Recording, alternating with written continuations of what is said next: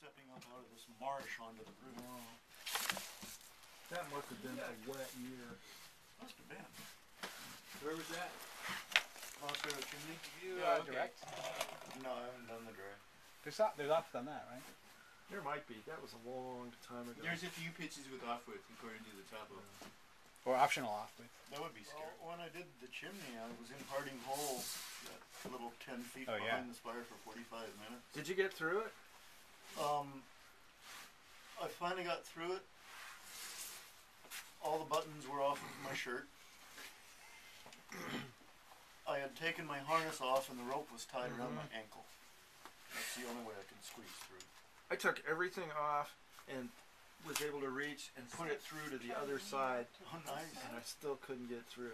Oh, I still so I went the other way, free solo dragging the rope in approach shoes. My friend broke his pelvis following. ow! Shoot, you're the squeeze chimney. I haven't got in there tonight. was the tightest one I've ever been through. Xander and I signed up for this uh, poached elephant thing. I haven't followed that one yet either. followed it?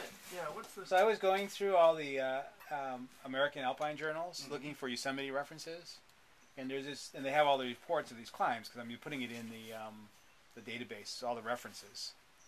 And I found this one um, report of a climb called. So, I, I, so when I saw it, I put a note on Super Topo, "Hey, chicken Skinner, how do you poach an elephant?"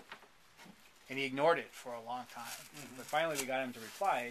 Climb by crash line. He says longest climb on the elephant is multi-day uh, aid, you know, wall basically. Um, and he told us where it, sort of what the line was without giving us a topo. So you're gonna go do it? So Xander says, Sneaking up on it from so Xander says, oh, let's go do it, Ed.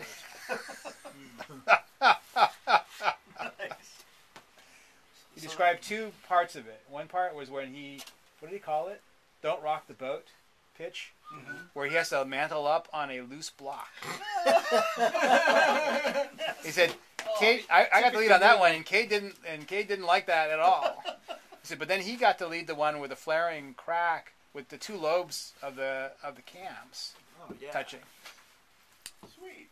So it sounds like, uh, and it, it probably has never had a second ascent, of course, because nobody Yeah. even knew the thing was there, except those Hauling guys. on the elephant. Is that the only route you haul on the elephant? I don't know. I mean, there may be other routes on the elephant. We don't know the whole list. Yeah. Wow.